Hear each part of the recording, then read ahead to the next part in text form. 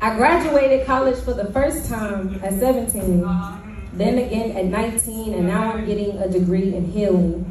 But I'm sure this one won't get as much applause because no one acknowledged the damage the first two caused, but always recommends that I go back for two more years. And every time life serves me shit and unexpectedly shifts gears, I think about it too. Because companies love to believe that a couple sheets of cardstock paper is an accurate depiction of all that I know and all that I can do. And all that I can do is follow through and wait for my turn until my dreams come true. Because no one cheers until they see the product.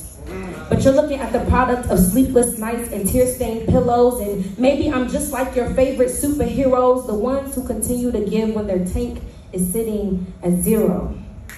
And you tell me to take care of myself, but don't you think I'm trying? Tired of being tired and sick of always crying. And the results haven't come, but trust me, I'm applying. And losing myself right now will be the equivalent of dying, and I'm too close to give up now. So if you see me around not making a sound, just let me be.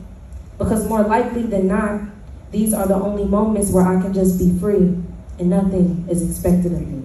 Thank you.